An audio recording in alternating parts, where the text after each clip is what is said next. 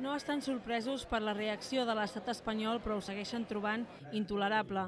Jaime Gelada, regidor del Partit Popular, va presentar la denúncia i el jutjat l'ha desestimat.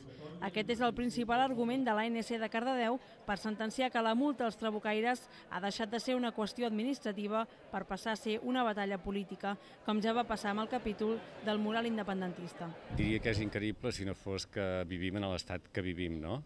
Eh, pel que tinc entès, es va presentar una denúncia, després això va anar a jutjat i allà ho van desestimar.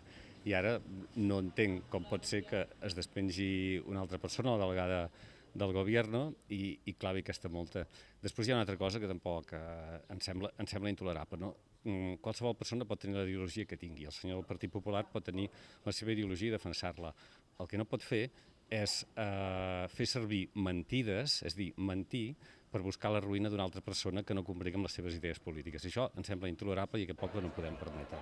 Manel Álvarez, el secretari dels Trabucaires, presentarà proves per defensar-se de la sanció de 25.000 euros. compatriotes barcelonins, ajudats per valencians i mallorquins, quan lluitaven